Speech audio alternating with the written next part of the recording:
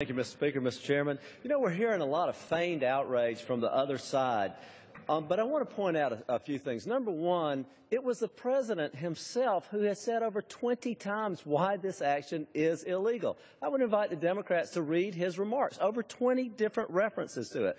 Number two, they talk about prosecutorial discretion, um, that this is okay. But as I understand it, that you, you, you have that discretion when you've run out of money and maybe you can't implement a finer point of a law, something that you are prosecuting. It doesn't mean the law. I would invite the Democrats who think that we disproportionately pick on this president, I would invite them to look in the 1950s case during the Truman administration in which uh, President Truman nationalized the steel business by executive order in order to avoid a strike. It went to the Supreme Court. The Supreme Court found on a six to three vote that you could not change the law as, of such magnitude by executive order.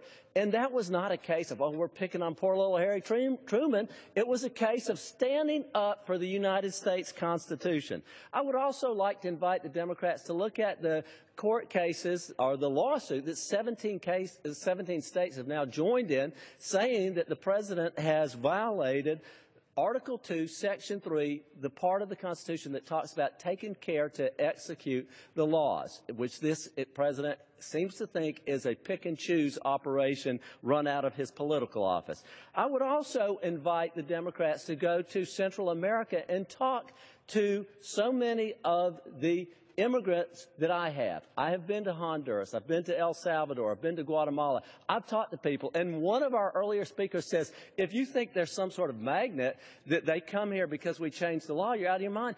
I would say go to Central America and talk to the folks. That's exactly why they come, because they get the word that it's easier to come here under those circumstances. I have 30 more seconds.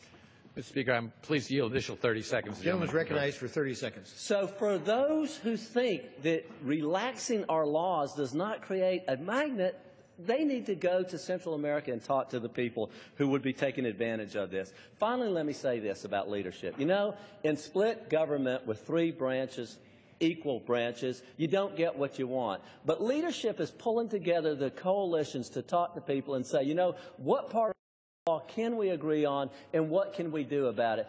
That's what leadership is about. The President has that opportunity to show leadership now that he's going to have a new Congress and a new Senate to work with. The way to, to get things done is to reach out and work with people and not to be in your face against them. Thank you very much.